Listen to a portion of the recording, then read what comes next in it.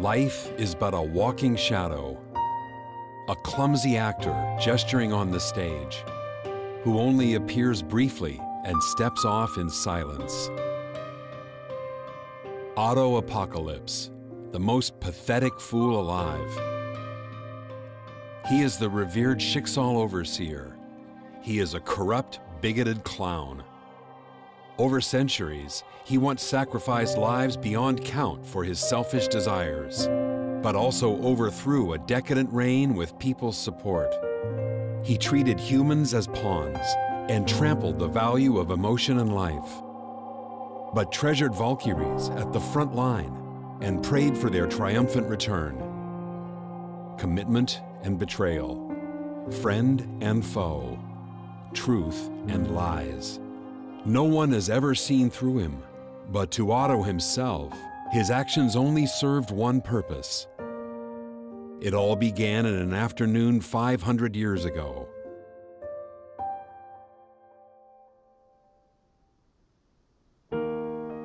Though Otto was born in the Three Houses, he was frail and sickly. He could only craft whimsical inventions, which naturally deprived him of inheritance. His older brothers detested his effort at self destruction, but no one noticed his inner needs and desires. It was then that a white haired, blue eyed girl brightened Otto's cold and dull heart like a ray of sunshine. She praised Otto's work sincerely, expected great inventions from him, and invited him to save the world with her. For the first time in his life, young Otto felt recognized. He could be expected. He could be needed.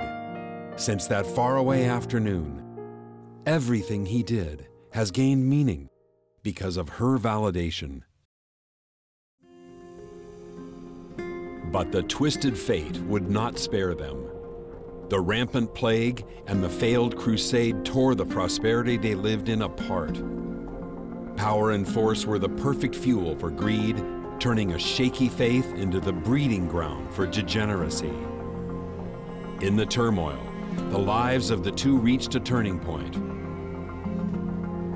Fearing abandonment, Otto chose to disregard ethics and performed experiments on dying patients. He sought findings at all costs. Kallen, who could not condone his crime, became a raven at night to spread hope and enact the justice in her heart.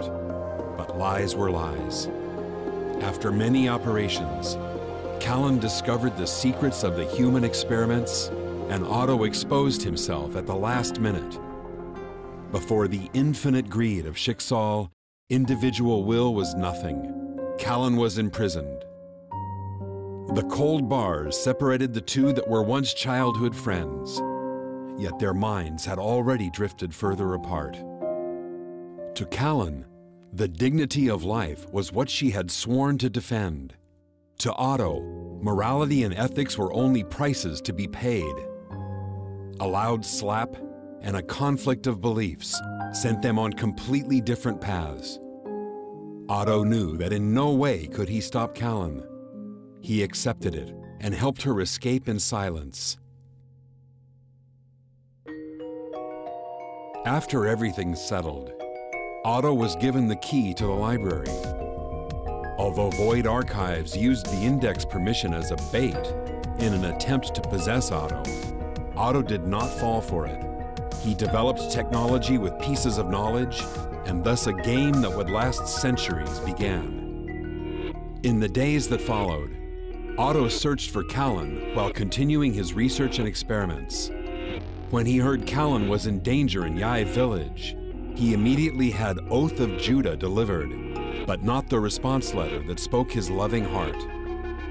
Meanwhile, Kallen sealed the Herrscher of corruption in the black box with Oath of Judah, but was severely wounded. She was taken back to Europe by Schicksal for a trial.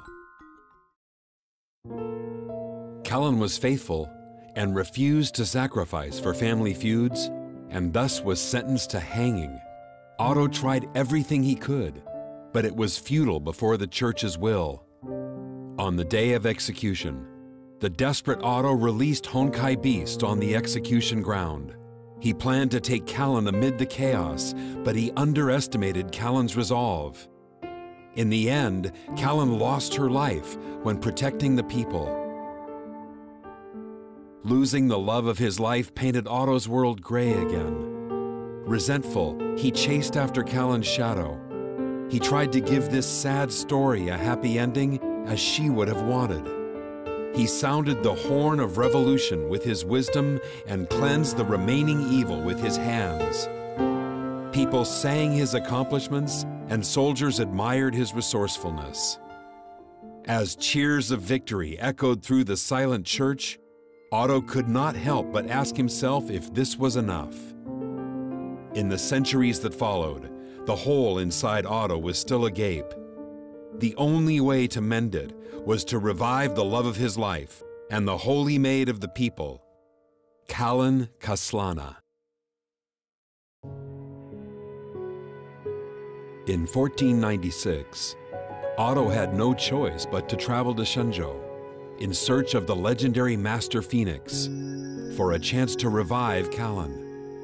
He met the fledgling swordswoman Li Sushan and found the reborn Fu Hua. But to his surprise, even an immortal celestial had regrets and could not bring back departed souls. In the end, Otto and Fu Hua made a pact Schicksal would protect Shenzhou in the powerless Fu Hua's place, and Fu Hua would serve Schicksal as a Valkyrie. In 1952, the first Honkai eruption broke out. Schicksal captured the amnesiac first Herrscher and performed three years worth of serial experiments on him, which yielded nothing. Otto even approached him in person to persuade him into succeeding to the Schicksal Overseer, but failed. To eliminate risks, Otto decided to wipe out the North American branch that was about to discover Schicksal's ugly truth. He launched Honkai fission missiles at New York, where tens of millions lived. Heroes defending freedom and justice stepped forward and crushed Otto's scheme at the cost of their lives. This led to the independence of anti-entropy, this failure taught Otto to take hold of the power to retaliate Honkai, which led to the Clone Project and the Artificial Stigma Project. In 1972, Otto began running forbidden clone experiments in the hope of reviving Kallen, but the results were not satisfactory. After injecting the cells of Honkai Beast Vishnu, the first living batch of Kallen clones was born. Otto made them fight one another to death at the end of the survival test. Only the individual numbered A310 rejected this absurd order. Her kindness in valuing life and her courage to defy her maker shocked Otto. He took A310 into his family and named her Theresa Apocalypse. Meanwhile, Otto established the Tower of Babylon laboratory to study artificial stigmata Countless gifted children were taken from their parents and subjected to inhumane experiments day and night. Insurmountable suffering and hatred against humanity nourished these Honkai vessels. At last, Sirin, the second Herrscher, was born.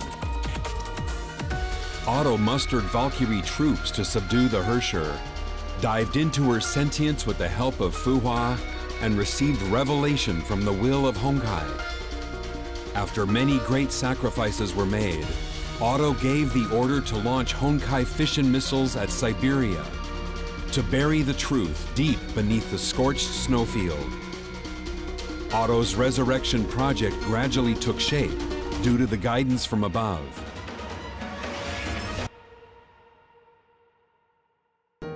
For several years, Otto tried to create the most promising clone with Kiana Kaslana and Sirin's genes for the second Herrscher to possess upon return. He transplanted the core of the second Herrscher to the test subject numbered K423. The longing for Cecilia gave her life. After being taken to St. Freya by Himeko, the love she felt and the bond she made helped her learn to love this world and those around her. Watching Kiana move along the path he designed, Otto knew when she began to believe she would never be alone was when he could advance the plan. In the illusory Tower of Babylon, the girl's despair and longing for motherly love facilitated the Herrscher persona's awakening. Fu Hua took her back to Schicksal. The experiment pod confined her once again.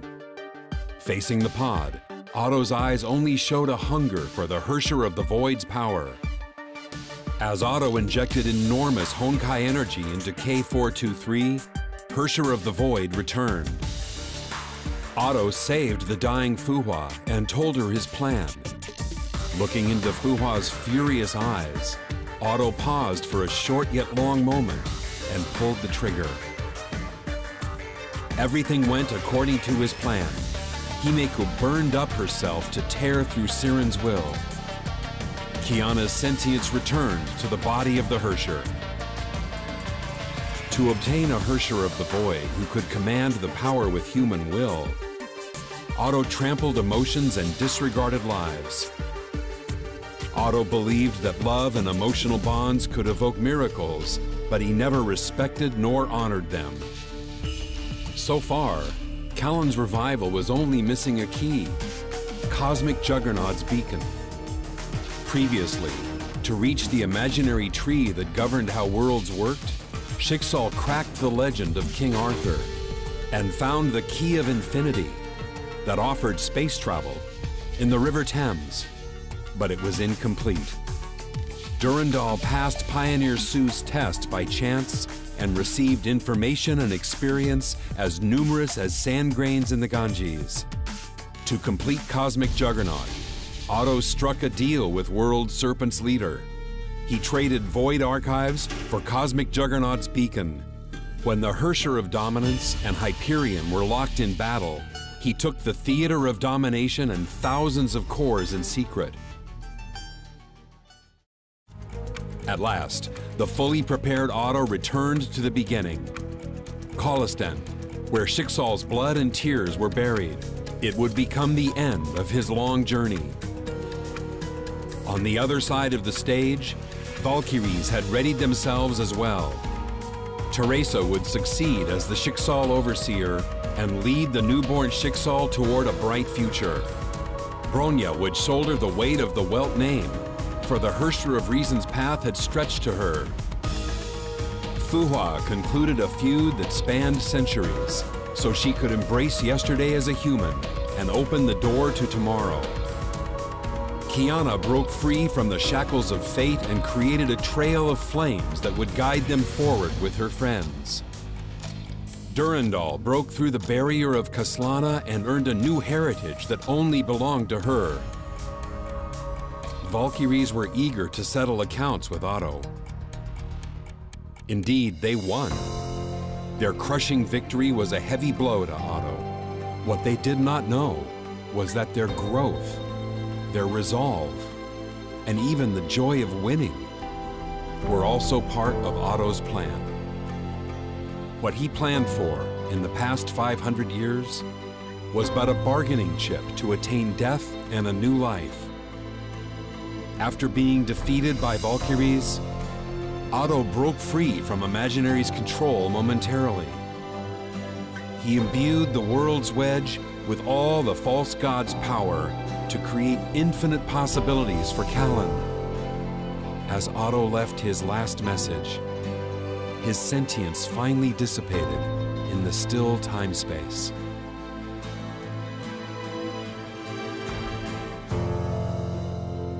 To different people, Otto perhaps means different things. But to Otto himself, all rights and wrongs are transient. He has attained eternal peace. His life as a fool is finally over.